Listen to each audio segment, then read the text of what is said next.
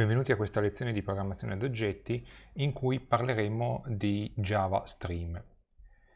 Gli stream in Java sono una nuova serie di API che permettono di andare ad elaborare dei dati seguendo un paradigma che è eh, il paradigma funzionale, ovvero quello in cui applico ai dati una serie di funzioni una dopo l'altra finché eh, li trasformo in quello che effettivamente eh, voglio andare a ottenere. Che cos'è uno stream? Uno stream in sé è una sequenza di elementi che vengono generati da una sorgente e eh, questa sequenza supporta l'applicazione di una serie di operazioni o funzioni. Queste operazioni sono definite in termini di eh, oggetti comportamentali, quindi oggetti eh, per i quali viene chiamato un metodo e questo metodo viene chiamato per ogni elemento che deve essere elaborato. Alcune caratteristiche di base che sono fornite dall'API per lo stream in Java sono il pipelining, ovvero la possibilità di avere una sequenza di operazioni che vengono applicate eventualmente contemporaneamente su eh, elementi successivi, eh, l'internalizzazione delle iterazioni, quindi non ci sono esplicitamente dei loop per andare a elaborare tutti gli elementi della sequenza, ma io specifico esclusivamente l'operazione e automaticamente, implicitamente, questa operazione viene applicata su tutti gli elementi dello stream. E soprattutto quella che si chiama la, la valutazione, diciamo, lazy, eh, pigra, ovvero eh, le operazioni vengono eseguite soltanto quando sono necessarie, ovvero finché non c'è qualche operazione terminale che richiede il risultato e a questo punto viene scatenata eh, tutta la sequenza di operazioni, quindi la lettura dalla sorgente e tutte le operazioni che vengono eseguite. Eh, quando parliamo di pipelining parliamo di eh, una sequenza di operazioni che possono essere applicate contemporaneamente su elementi successivi, quindi quando il primo elemento viene generato viene eseguita la prima operazione e poi la seconda operazione viene eseguita contemporaneamente alla prima, eh, ovviamente sui due elementi successivi, finché eh, man mano che gli elementi eh, percorrono questa catena di operazioni intermedie raggiungono quella che è un'operazione terminale che alla fine utilizza eh, o elabora in qualche modo il risultato. Ad esempio, quando noi abbiamo una sorgente, eh, questa sorgente potrebbe essere presa da eh, una sequenza di elementi, ad esempio eh, un array, un, eh, un elenco di parole, di elementi, e quindi lo stream è costituito da tutti questi elementi.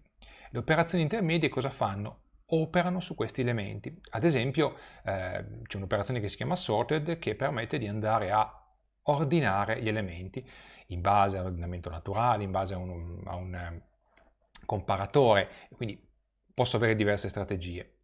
Posso avere operazioni che vanno a limitare gli elementi, ad esempio c'è un'operazione che si chiama limit che permette di andare a eh, ridurre il numero di elementi, per cui se prima ordino gli elementi e poi faccio limit 4, sostanzialmente andrò a prendere i primi 4 elementi dopo l'ordinamento.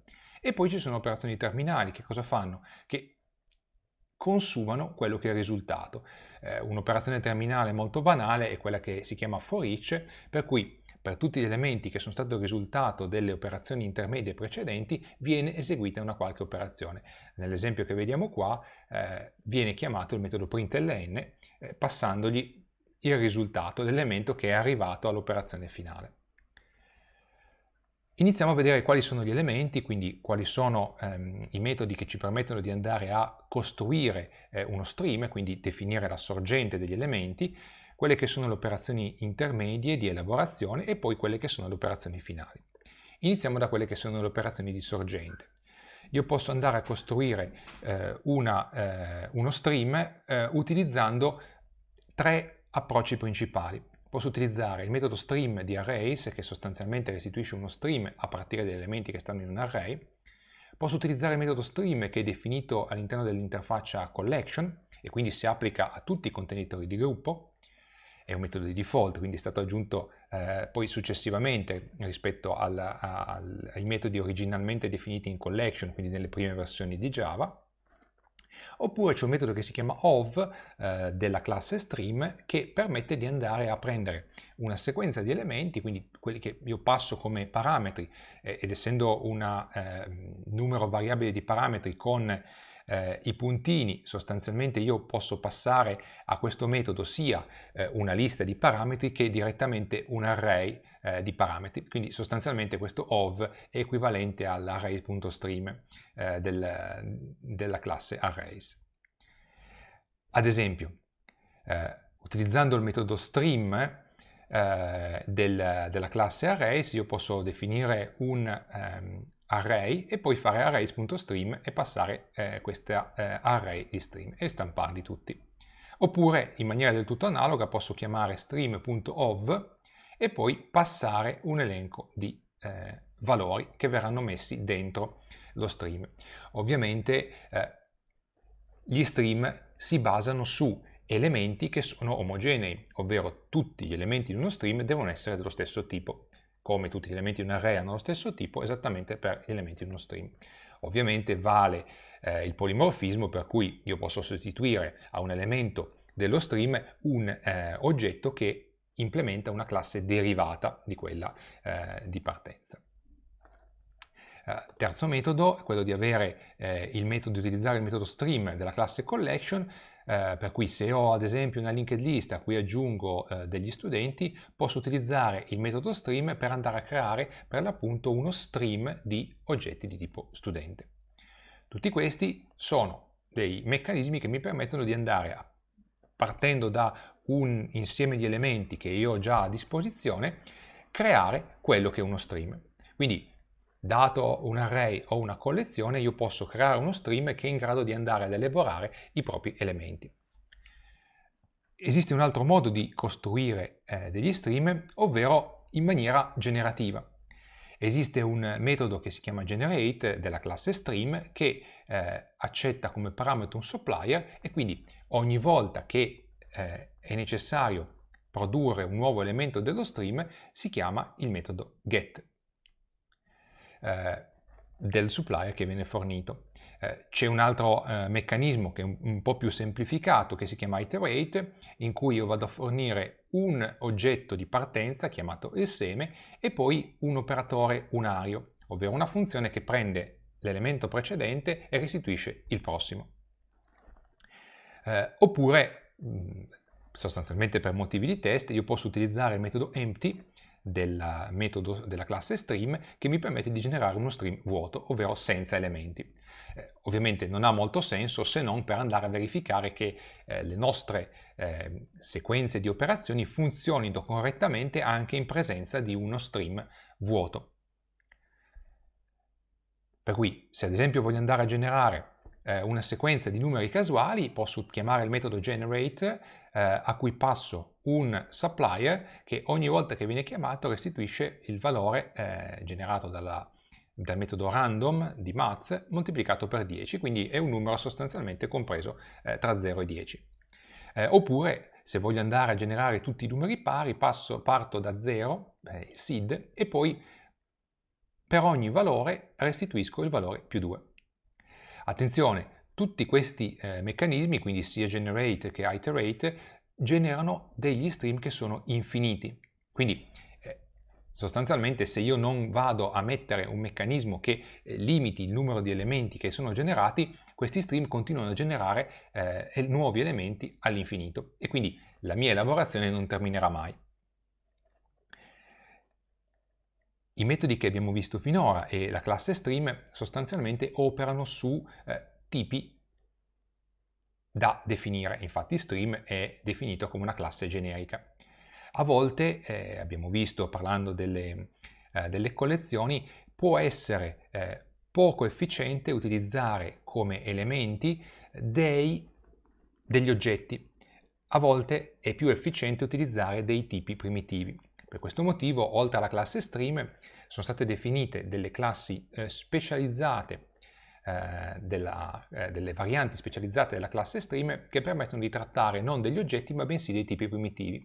Per cui abbiamo double stream, in stream e long stream, che permettono di, per andare a elaborare degli stream di tipi primitivi, sostanzialmente andando a ridurre eh, le operazioni eh, che richiedono boxing e unboxing e riducendo eh, l'occupazione di memoria se questi ehm, oggetti eh, wrapper devono essere creati eh, più volte.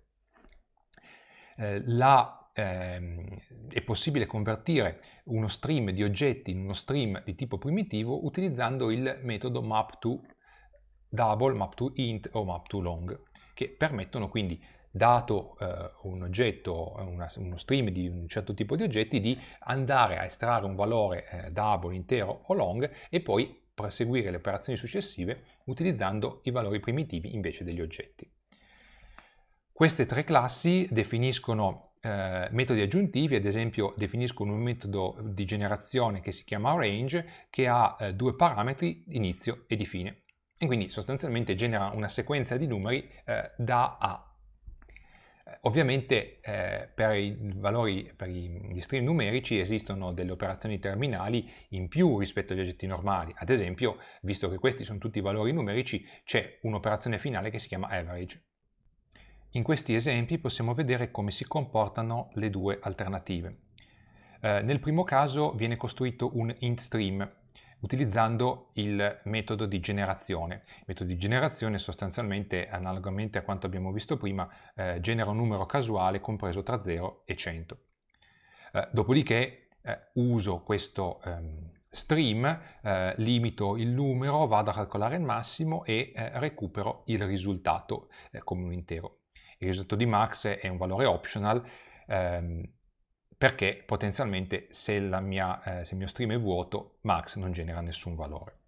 Eh, nell'altra variante uso eh, un, uno stream, a questo punto, di integer e il metodo di generazione sostanzialmente è esattamente analogo all'altro.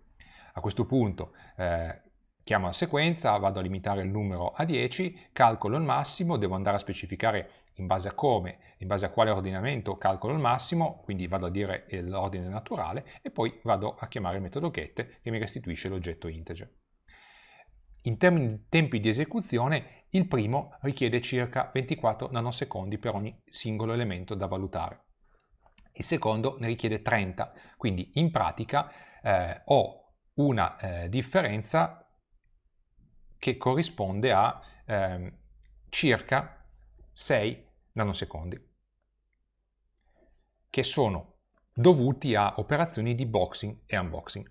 Eh, sostanzialmente unboxing perché qui devo andare semplicemente a leggere il valore. Ovviamente nel momento in cui io devo andare a generare nuovi oggetti, eh, questo eh, overhead dovuto all'uso di oggetti wrapper invece dei tipi primitivi inizia a essere molto più pesante. Parliamo a questo punto di quelle che sono le operazioni intermedie. Eh, Qui ho riepilogato quelle che sono le operazioni principali, quindi abbiamo la possibilità di andare a filtrare gli elementi in base a un predicato, limitare il numero di elementi che vogliamo andare a elaborare, ne possiamo saltare un certo numero iniziale di elementi, possiamo ordinare gli elementi andando a fornire un eh, comparatore opzionale, eh, possiamo andare a eh, eliminare i duplicati utilizzando Distinct, oppure possiamo fare un'operazione di mapping, ovvero eh, dato un elemento eh, che è presente nello stream, possiamo calcolare un nuovo elemento che andremo a mettere nello stream a valle. Per cui possiamo prendere uno stream di un certo tipo e produrre uno stream di un tipo diverso, dove il tipo diverso è quello che viene prodotto a partire dagli elementi dello stream in ingresso.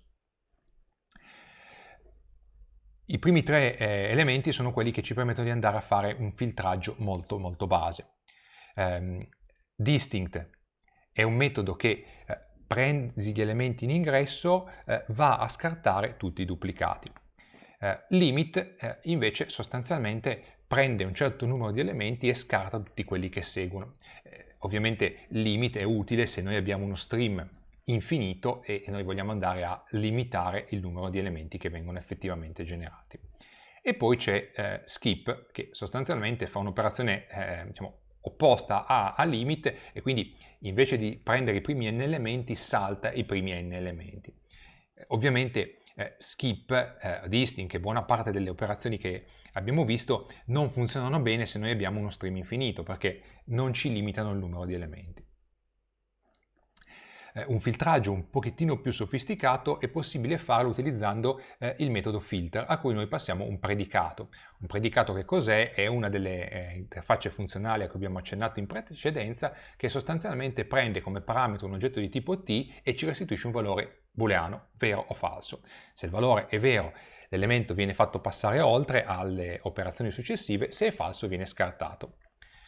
Quindi, eh, ad esempio, se noi abbiamo un stream di eh, studenti, possiamo filtrare gli studenti eh, di genere femminile con questo metodo isFemale e poi stamparli. Eh, ovviamente eh, invece di utilizzare eh, un metodo reference posso utilizzare una lambda se l'operazione che voglio fare non è già inclusa all'interno di un metodo che mi restituisce un valore booleano, ma voglio fare un'operazione un po' più complicata. Ad esempio in questo caso vado a prendere il eh, nome degli studenti che mi vengono passati e vado a vedere se il nome è uguale a John. In questo caso lo faccio passare, altrimenti scarto tutti quelli che hanno un nome che non è John.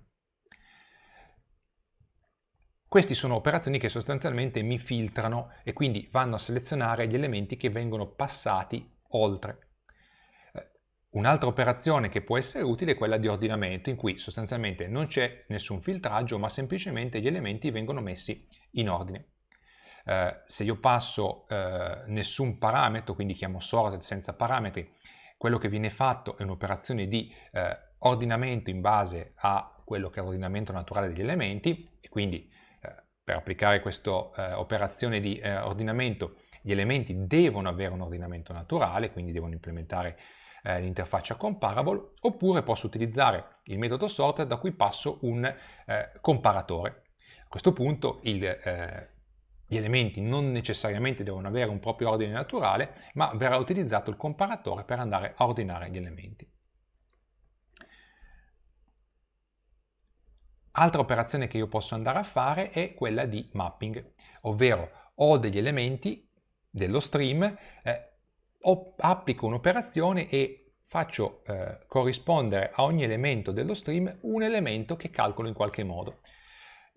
Il caso più semplice che vediamo qua è quando io, dato uno stream di studenti, eh, vado a chiamare ad esempio il metodo getFirst. Quindi che cosa ottengo? Eh, ho uno stream di oggetti tipo studente. L'operazione map cosa fa? Prende uno studente e restituisce il suo nome. Il suo nome sarà una stringa, quindi in ingresso all'operazione di map ho uno stream di studenti, in uscita ho uno stream di stringhe, che poi con questo for each vado a stampare. L'operazione di mapping può anche essere utile per andare a trasformare uno stream di oggetti in uno stream di tipi primitivi, per cui map to int, map to long e map to double permettono di prendere un oggetto dello stream del tipo t e andare a calcolare un valore intero, long o double a partire da questo oggetto. A questo punto ho in ingresso uno stream di studenti, stringa, quello che volete, e ho in uscita uno stream di uno di questi tipi primitivi. Eh, ad esempio, eh, stream di studenti, faccio un'operazione di mapping eh, in cui vado a estrarre il ehm, nome quindi ho uno stream di stringhe e poi faccio un'altra operazione di mapping su un intero, quindi quello che ottengo è eh, uno stream di tipi primitivi che corrispondono alla lunghezza dei nomi degli studenti e poi li stampo. Veniamo ora a esaminare quelle che sono le operazioni terminali, ovvero quelle che dopo le varie trasformazioni consumano eh, gli elementi di uno stream. Ci sono alcune operazioni sostanzialmente molto semplici che sono quelle che vediamo eh, in questa slide. Eh, si tratta eh, sostanzialmente di eh, find any che restituisce sostanzialmente un qualunque elemento dove l'ordine non conta e eh, find first che restituisce il primo elemento dove invece l'ordine eh, viene considerato. Qual è la differenza tra i due? Beh, sostanzialmente che eh, se abbiamo dei, delle elaborazioni che possono essere svolte in parallelo, è possibile che il primo elemento che viene prodotto dalla sorgente venga elaborato con più ritardo rispetto eh, al secondo elemento. Find any ne prende o uno o l'altro, diciamo quello che arriva per primo. Find first invece aspetta che venga elaborato il primo elemento e va a recuperare quello. Entrambi restituiscono un optional perché eh, in pratica è possibile, in presenza di, una, eh, di, uno stream vuoto oppure di uno stream che ha dei filtri che eliminano tutti gli elementi, che nessun elemento venga effettivamente restituito. Ci sono poi due eh, operazioni terminali che sono min e max, che vanno a restituire il minimo o il massimo tra tutti gli elementi che arrivano, eh, e anche questi restituiscono un optional. Eh, questi due metodi eh, prevedono eh, l'utilizzo di un comparatore che permetta di andare a scegliere qual è il criterio con cui andare a determinare il minimo o il massimo all'interno degli elementi che scorrono nello stream. Count che semplicemente ci restituisce il numero di elementi, vi faccio notare che count restituisce un valore long eh, noi siamo abituati con gli interi che utilizzano degli indici di tipo int, ecco count utilizza un log perché eh, gli stream sono pensati per elaborare grandissime quantità di dati e quindi è possibile che un int non sia sufficiente eh, per andare a memorizzare il numero di elementi gestiti da uno stream.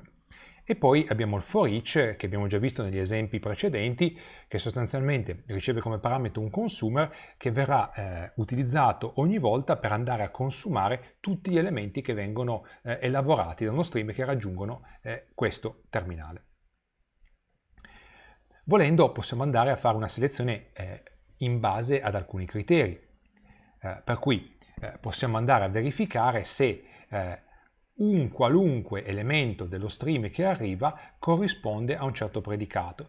AnyMatch fa proprio questo, eh, riceve come eh, parametro un eh, oggetto di tipo predicate eh, e viene utilizzato per andare a verificare se almeno un elemento di quelli che transitano eh, fino alla fine del nostro stream verifica la condizione.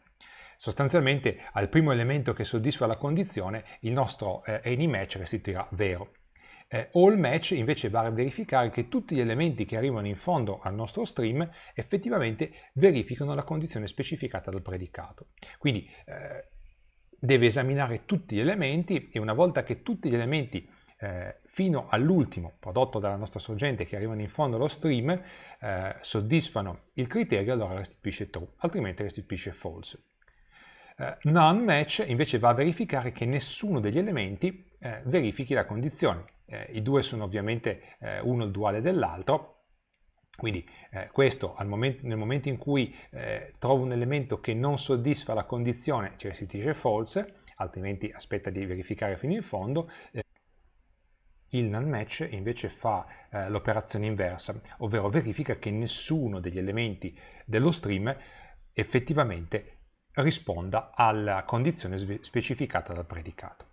Quando andiamo a considerare le operazioni, eh, terminali o intermedie, eh, possiamo classificarle in due grosse categorie, quelle che sono stateless e quelle che sono stateful. Le operazioni stateless sostanzialmente eh, non hanno bisogno di stato, ovvero non hanno bisogno di memoria aggiuntiva per essere svolte. Eh, un esempio tipico è l'operazione di map o di filter map prende un elemento, calcola eh, la sua corrispondenza e lo produce, filter verifica la condizione e fa passare o meno eh, l'elemento. Quindi non è necessario memoria, utilizzare memoria aggiuntiva. E poi ci sono operazioni stateful che invece hanno bisogno di un po' di memoria aggiuntiva per andare a svolgere le loro operazioni. Eh, ad esempio, eh, L'operazione di limit eh, permette di eh, andare a limitare il numero, quindi io ho bisogno quantomeno di un contatore che mi permetta di eh, limitare il numero di elementi. Sorted è, un altro esempio. Per ordinare gli elementi io devo andare ad accumularli e mantenerli in ordine e ovviamente non posso rilasciare il primo elemento finché non ho esaminati tutti, perché l'ultimo elemento che mi arriva potrebbe essere il primo secondo l'ordinamento. Questi due eh, esempi ricadono in due sottocategorie, bounded e unbounded. Bounded sono le operazioni che hanno bisogno di informazioni di, di stato, eh, quindi dati aggiuntivi, eh, che però sono limitate, ovvero la quantità di informazioni necessarie non dipende dal numero di elementi, mentre invece unbounded sono le operazioni eh, che richiedono memoria aggiuntiva e questa memoria tendenzialmente è proporzionale al numero di elementi che devono essere elaborati. Parlando di operazioni terminali, ce ne sono due eh, particolarmente interessanti che non abbiamo menzionato prima, che sono le operazioni di reduce e di collect, che eh, rispettivamente sono una bounded e l'altra unbounded. Che cosa fanno queste due operazioni? Allora, reduce sostanzialmente prende eh, due elementi un elemento iniziale e ogni nuovo elemento che arriva nello stream li combina e produce un nuovo elemento. Quel nuovo elemento verrà poi utilizzato e combinato con il prossimo elemento dello stream. Quindi il risultato sostanzialmente è ridurre una sequenza di elementi dello stream in uno solo, andando a combinarli due alla volta. L'operazione di collect invece è un po' più complicata perché permette di andare a fare eh, un'operazione in cui vado a mettere degli elementi normalmente all'interno di un, di un eh, collettore, ovvero un oggetto che può ospitare tanti elementi. Eh, è unbounded perché, eh, ad esempio, una tipica operazione di collect è quella di andare a mettere tutti gli elementi all'interno di una lista. Ovviamente la memoria della lista dipende da quanti elementi ho all'interno del mio stream. Vediamo un po' più nel dettaglio eh, l'operazione di reduce. Reduce eh, permette di operare su due elementi, un valore iniziale, che è quello che è il seme iniziale delle operazioni, e poi un'operazione di binary operator, che, che cosa fa? Fonde l'elemento corrente con il prossimo elemento della lista. L'elemento corrente qual è? Inizialmente è nostra, eh, il valore identità e eh, successivamente sarà risultato eh, dell'operazione di merge precedente. Per cui, ad esempio, eh, se io prendo uno stream che contiene eh, i miei studenti, vado a prendere il eh, nome di battesimo, dopodiché vado a prendere la lunghezza delle stringhe e poi faccio un'operazione di math, max, ovvero l'operazione di combinazione è un'operazione di calcola il massimo tra i due valori, partendo ovviamente da 0. Quindi a un certo punto prenderà il massimo tra 0 e il primo elemento e questo sarà un risultato. Il risultato a questo punto verrà combinato con la lunghezza dell'elemento successivo e verrà preso il massimo e via di questo passo. Volendo rappresentare in maniera eh, grafica, eh, data questa operazione, possiamo immaginare di avere una sequenza di valori che arrivano, e questo è il nostro stream, eh, partiamo dal valore iniziale che viene chiamato identity e applichiamo l'operazione di merge sull'identity e sul primo eh, elemento del nostro stream. Il risultato sarà, eh, nel nostro caso, nell'esempio specifico, 4. A questo punto andrò a fare l'operazione di max tra questo risultato e il prossimo elemento. Successivamente, sempre l'operazione max, che è l'operazione di merge tra il risultato e l'elemento successivo, e poi eh, un'altra volta eh, tra il risultato e l'elemento successivo e via di questo passo eh, finché raggiungo l'ultimo elemento del mio stream. In generale eh, il, il, valore di partenza viene chiamato un valore di identità eh, perché dovrebbe essere eh, un valore che è eh, identità per l'operazione di merge che viene applicato. Nel caso del max, avendo dei valori interi maggiori di 0, eh, il valore 0 è il valore identità, cioè qualunque valore vada a utilizzare qua, eh, max tra quel valore e 0 ci darà sempre quel valore. Se io qui metto un valore che non è eh, di un valore di identità per l'operazione che vado ad eseguire, il rischio è che l'identità venga trasferita in avanti e quindi sia il risultato finale. E quindi la mia operazione di reduce sostanzialmente non faccia altro che darmi come risultato quello dell'identità.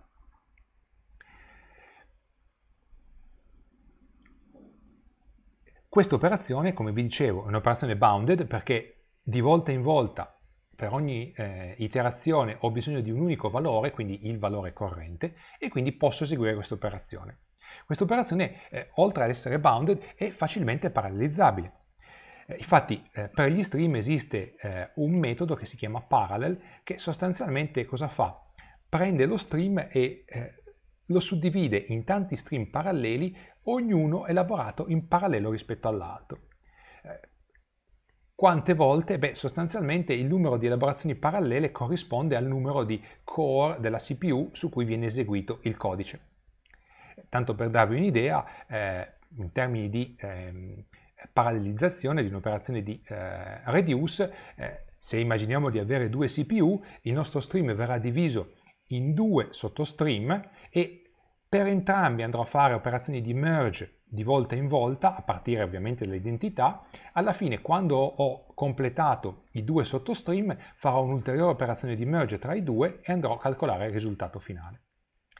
Ovviamente questa operazione di parallelizzazione potenzialmente ci può dare eh, dei risultati molto interessanti e quindi prestazioni molto migliori rispetto alla versione semplice e lineare. Eh, Un'altra operazione terminale, analoga a quella eh, di eh, reduce che abbiamo appena visto, è l'operazione di collect, che però rispetto alla reduce è un po' più complicata perché permette di andare ad accumulare risultati all'interno di un oggetto che è molto più complicato, di un valore che viene eh, combinato a coppie. Qual è l'idea? È che io devo fornire tre elementi eh, che definiscono quella che possiamo chiamare una ricetta per andare a fare l'accumulazione. Il primo elemento è un supplier, ovvero eh, un eh, metodo, eh, scusate, una, un oggetto di tipo supplier che costruisce l'oggetto in cui vado ad accumulare i risultati. Una eh, funzione di accumulazione, eh, quindi quello che si chiama una by function, che riceve due parametri ed va a spiegarmi come faccio l'accumulazione di ogni elemento dell'array all'interno dell'oggetto di accumulazione, e un combiner che viene sostanzialmente utilizzato quando devo andare a combinare, avendo più stream paralleli, due oggetti di accumulazione eh, tra di loro per andare a dare un risultato unico. Nel caso specifico che cosa abbiamo? Utilizziamo noi come oggetto di accumulazione questo, eh, che è un oggetto molto molto semplice che, un che contiene un unico attributo eh, intero n eh, che andrà a contenere sostanzialmente la somma dei valori che eh, vado a esaminare all'interno del mio stream. Immaginiamo di avere uno stream di interi, eh, il mio supplier cosa fa? Mi crea un nuovo oggetto di tipo H, qui vedete che utilizzo eh, un metodo reference con l'operatore new. Eh, L'accumulazione avviene tramite questa lambda che riceve l'accumulatore e il prossimo elemento e semplicemente va a sommare all'attributo n dell'accumulatore il valore del prossimo elemento dello stream. Il combinatore che eventualmente in caso di, ripeto, in caso, soltanto in caso di stream paralleli viene utilizzato, eh, fa la somma dei valori n dei due accumulatori. Volendo andare a rappresentare che cosa avviene in maniera grafica, possiamo avere il nostro stream eh, di elementi interi. Eh, la prima cosa che facciamo è di sfruttare il supplier per andare a creare l'oggetto di accumulazione e eh, successivamente eh, possiamo andare a sfruttare il nostro eh, metodo di accumulazione per andare a sommare eh, il primo elemento eh, al valore eh, contenuto all'interno eh, del nostro accumulatore. E via di questo passo andiamo a prendere il prossimo elemento, lo sommiamo, prendiamo quello successivo, sommiamo anche questo, andiamo a prendere ancora un altro elemento e lo sommiamo, perché questa è l'operazione che fa il nostro accumulatore, eh, una volta che abbiamo il nostro accumulatore possiamo avere eh, necessità di combinare gli elementi tramite quello che è il combiner e quindi immaginando di avere più parallel stream eh, ci ritroviamo a sommare eh, i valori n di più accumulatori o nel caso in cui non abbiamo nessun parallel stream sostanzialmente abbiamo già il risultato. Eh, un altro esempio di eh, collect è quello che prende gli elementi di un array, scusate, di uno stream e li mette all'interno di una lista. Qui ad esempio eh, il supplier in questo caso è un linked list 2.2.new, quindi mi crea una nuova linked list in cui andare a fare l'operazione.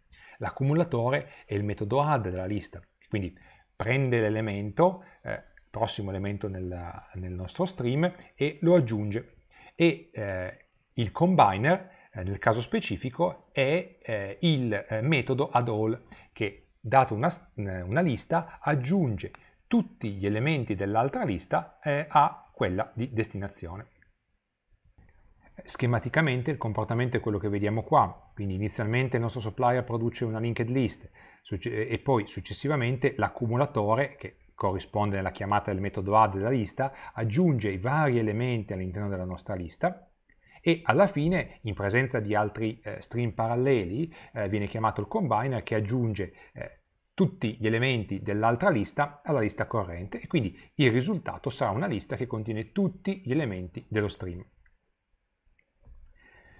Quando abbiamo a che fare con eh, gli stream eh, è bene ricordare che il meccanismo eh, permette di andare a eh, fare quella che si chiama una lazy evaluation, ovvero eh, le elaborazioni dei dati vengono svolte eh, soltanto quando necessario.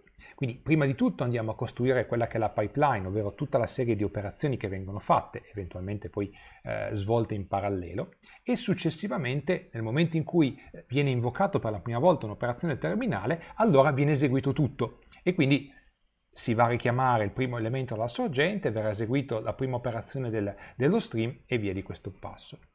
Per questo motivo, eh, quando noi dobbiamo andare a eh, utilizzare la collect, il primo parametro che passiamo non è l'oggetto accumulatore, perché in questo caso l'avremmo già creato prima, ma viene chiamato, viene passato un supplier che nel momento in cui deve essere eseguita l'operazione di collect crea l'oggetto di accumulazione e questo permette eh, una vera e propria valutazione pigra, ovvero soltanto nel momento in cui effettivamente necessario viene creato l'oggetto di accumulazione e poi verrà successivamente eh, per ogni elemento dello stream chiamato l'elemento di ehm, accumulazione.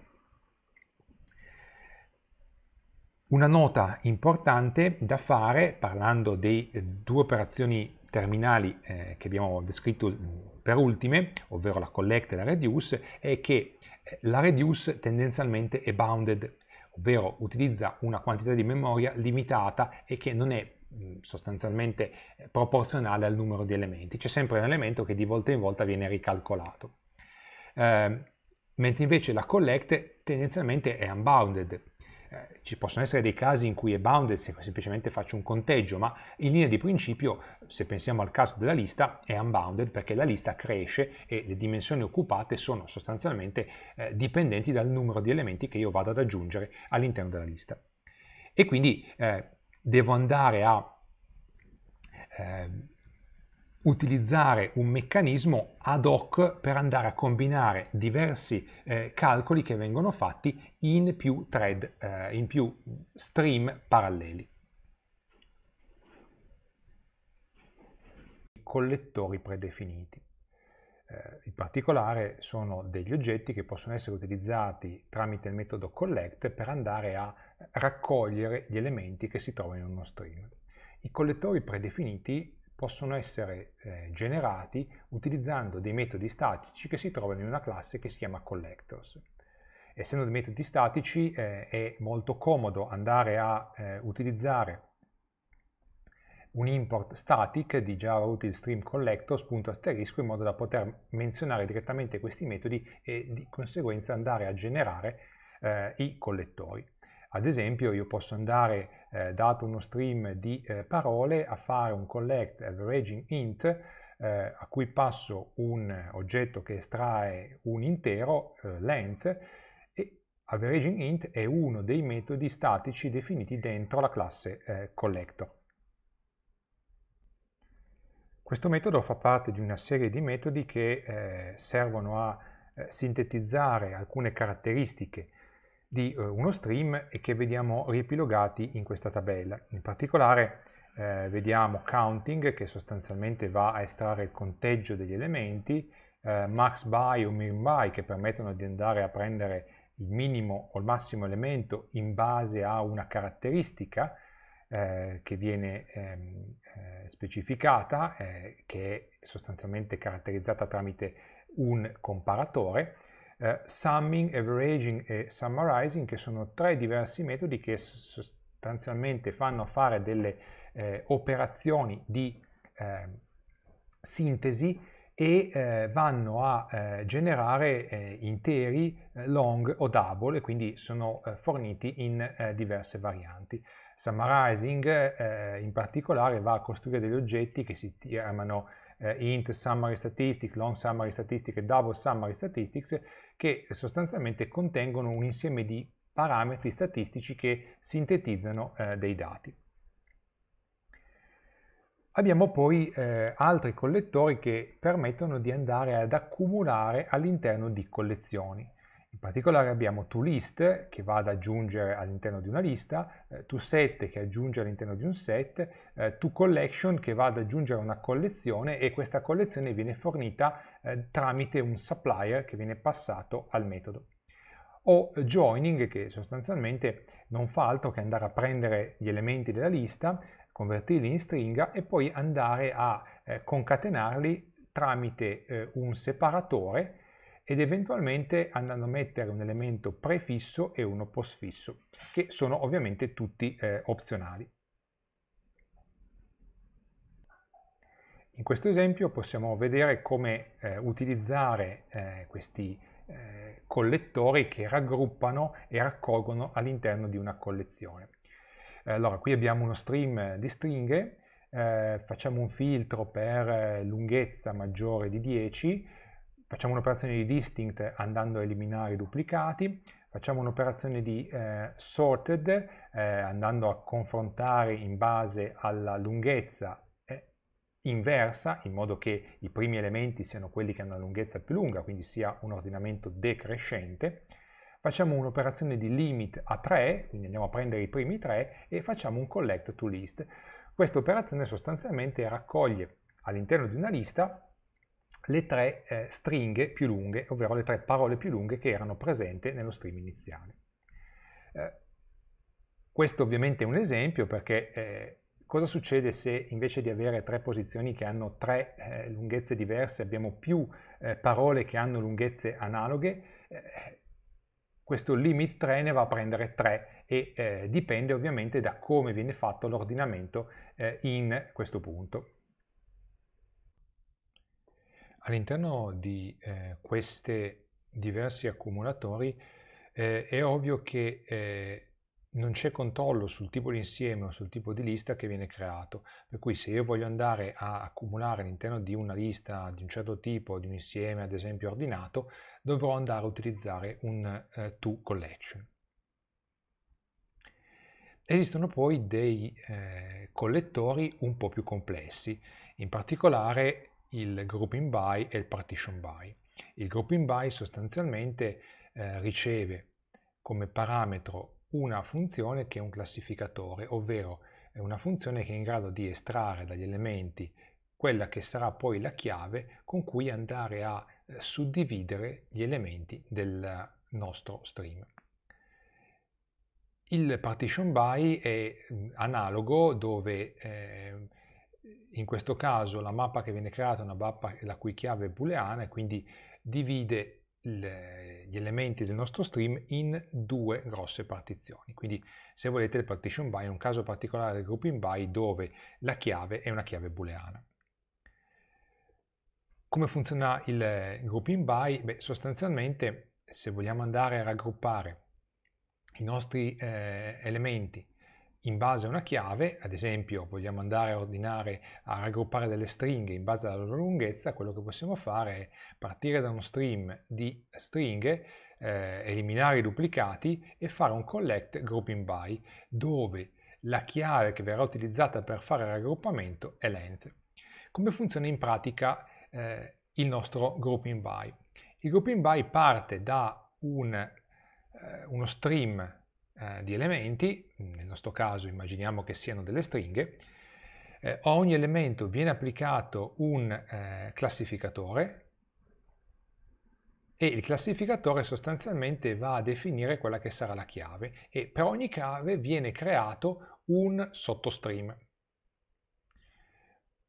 Per cui al secondo elemento eh, verrà applicato il classificatore, verrà identificata una chiave che può essere uguale oppure come nel caso diversa rispetto alla precedente, quindi verrà eh, avviato un nuovo stream in cui viene eh, accodato il nuovo elemento.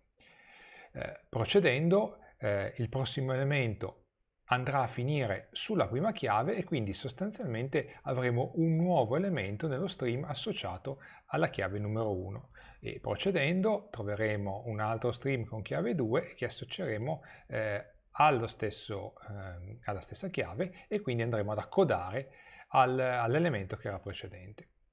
Quindi in pratica noi abbiamo eh, due stream che vengono messi di conseguenza.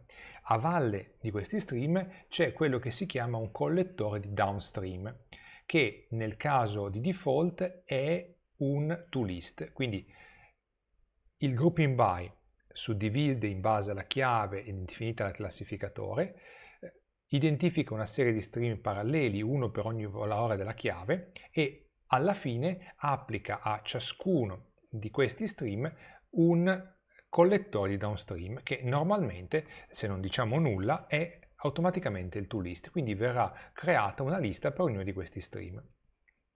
Alla fine, una volta che abbiamo tutte queste liste, ognuna verrà inserita all'interno di una mappa dove la chiave è la chiave che corrisponde al sottostream raggruppato in quella lista.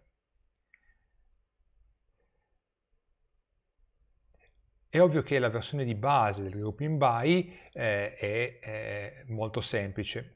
Esiste una versione un po' più complessa che è quella che vediamo qui, in cui il grouping by, oltre ad avere la nostra funzione che è il classificatore, ovvero l'elemento che permette di andare a estrarre la chiave con cui andare a definire i vari stream e poi cui, con cui andare a inserire nella mappa, è possibile andare a costruire anche eh, l'oggetto mappa in cui andranno messi gli elementi, quindi nel caso specifico qui abbiamo una tree map eh, il cui eh, ordinamento è un reverse order e poi abbiamo il downstream che in questo caso è un toList ma potrebbe essere un qualunque altro eh, collettore. Quindi in questo caso specifico avremo un ordinamento discendente. Se torniamo al nostro eh, esempio di prima, eh, quindi quello di andare a eh, identificare primi, eh, tre, le prime tre eh, stringhe per lunghezza, eh, la soluzione che avevamo visto qua sostanzialmente peccava di un limite, ovvero aveva eh, un numero di elementi che era uguale a 3 e quindi sostanzialmente avrebbe scartato eventuali pari merito, ecco, una possibile soluzione utilizzando il grouping by eh, consiste nell'andare innanzitutto a raggruppare in base alla eh, lunghezza, includere in una mappa ordinata, quindi una sorted map, eh, che ha un ordinamento inverso, in modo che i primi tre elementi siano quelli con la lunghezza maggiore. Eh, ovviamente questo cosa farà? Andrà ad aggiungere a, alle tre chiavi più alte eh, non un singolo elemento, ma una lista di elementi. A questo punto, eh, se noi vogliamo andare a estrarre questi, quello che possiamo fare è quello di andare a utilizzare il metodo entrySet chiamato sulla mappa che viene prodotta dal metodo collect, eh, fare uno stream su questo entrySet, limitare a 3, quindi andare a prendere le prime tre chiavi del nostro, ehm, della nostra mappa ordinata eh, e poi fare un'operazione di flat map. La flat map che cosa fa? Prende eh, gli elementi che sono presenti nelle tre liste associate alle tre chiavi che corrispondono alle tre lunghezze più, più grandi e va a costruire altrettanti stream che vengono concatenati uno dopo l'altro e alla fine andiamo a prendere quindi tutte le ehm, stringhe che compaiono nelle liste eh, corrispondenti ai tre numeri più alti e andiamo a raccoglierli dentro una lista con un collect to list. Ovviamente quando io devo fare operazioni complicate è possibile che io debba eh, andare a combinare più eh, collettori. Per questo eh, ci sono un paio di metodi eh, che possono essere applicati ai collettori e che permettono di andare a fare delle operazioni aggiuntive. Per cui ad esempio c'è un metodo che si chiama collecting and then, sono metodi default, quindi possono essere applicati al, ehm, al collettore eh, quindi collecting and then eh, ha eh, come parametri un collettore che quindi può eh, fare le operazioni, potrebbe essere un grouping by, potrebbe essere un toList, e poi c'è un and then che quindi va a prendere il risultato dell'operazione di collezione e lo trasforma ulteriormente, quindi fa eh, un mapping tra il risultato della collezione e un altro risultato che è quello che noi vogliamo ottenere.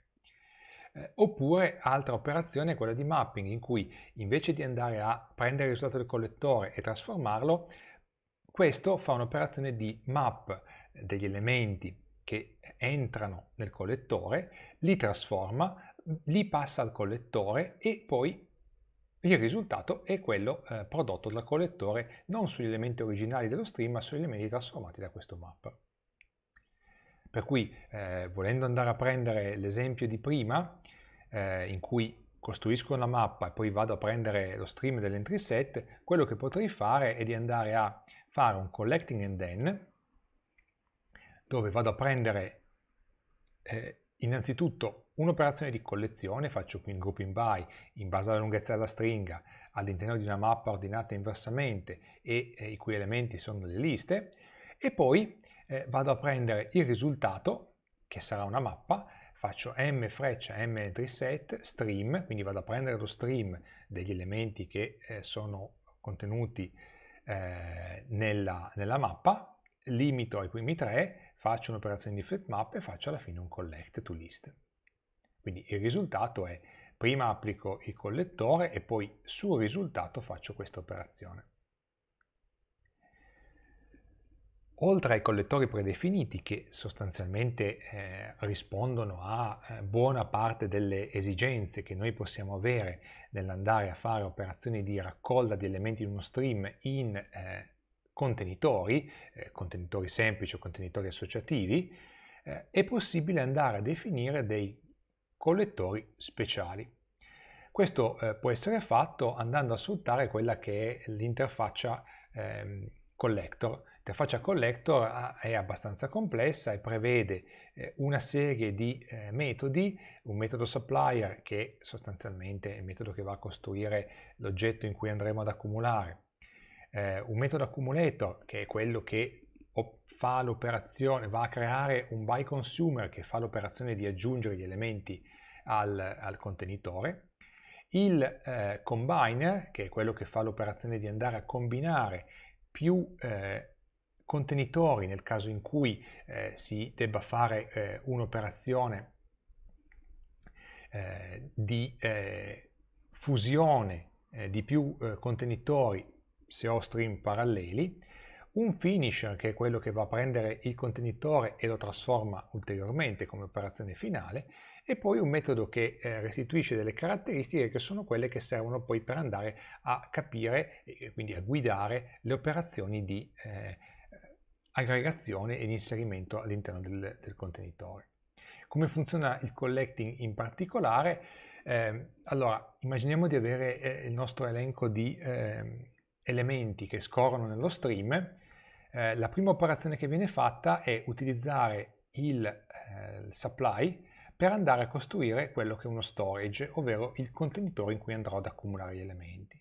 Dopodiché, man mano che ho gli elementi, andrò a chiamare l'accumulate che man mano andrà, andrà ad aggiungere eh, gli elementi nel nostro contenitore, andrà a creare gli elementi all'interno di una mappa o mh, mm, quello che eh, eh, ritenete più sensato.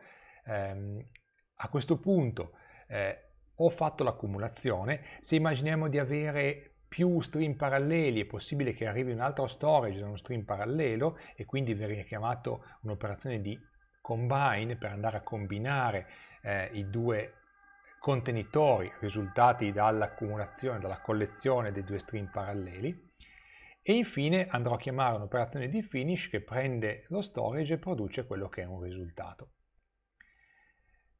Quello che posso fare per andare a costruire eh, dei eh, nuovi collettori ad hoc è di utilizzare il metodo of eh, che è definito all'interno dell'interfaccia eh, collector e quindi scrivere collector of e passare il supplier, l'accumulator, il combiner, il finisher e le caratteristiche.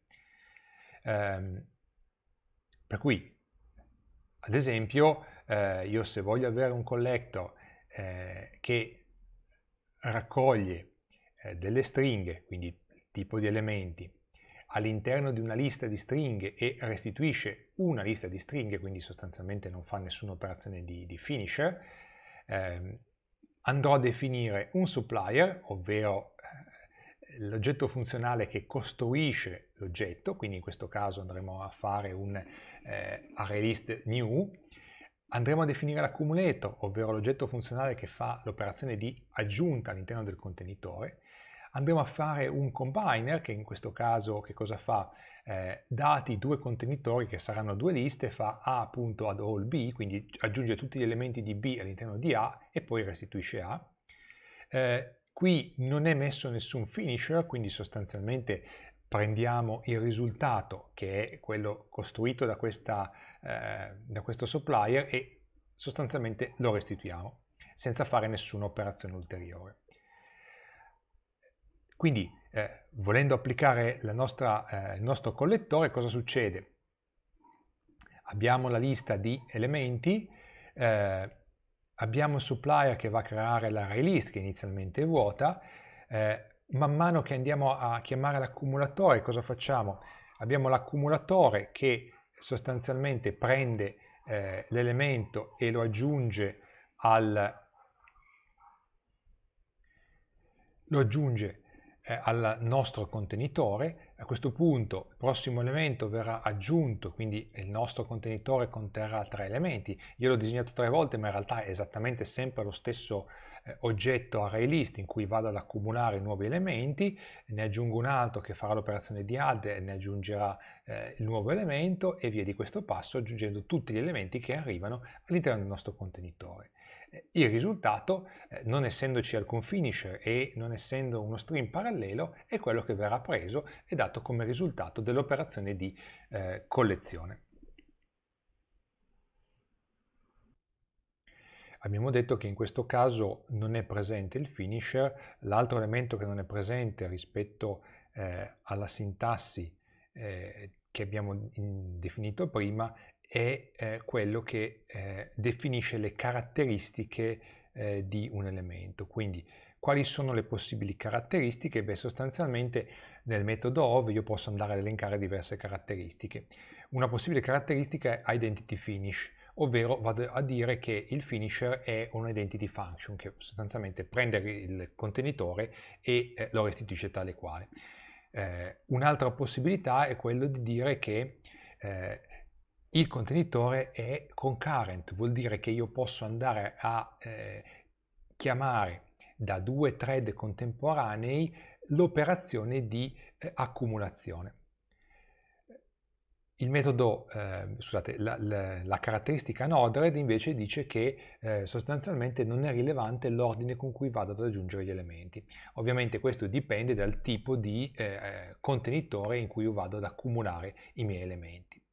Le caratteristiche possono essere utilizzate per andare a ottimizzare eh, effettivamente come funziona il collettore. Per cui, ad esempio, se sia la caratteristica concurrent che la caratteristica unordered sono specificate eh, e eh, io ho uno stream parallelo, sostanzialmente eh, il, la, il, metodo di accumulazione può essere invocato da più thread eh, paralleli e praticamente a questo punto il combiner non viene utilizzato perché invece di andare ad accumulare separatamente in diversi accumulatori e poi combinare man mano, se dico che è eh, unordered ed è concurrent, allora do la possibilità al codice che gestisce queste API di fare un'operazione molto più veloce, ovvero chiamare in maniera concorrente eh, l'accumulatore che quindi aggiunge sempre e comunque allo stesso contenitore senza la necessità di doverlo combinare poi eh, successivamente.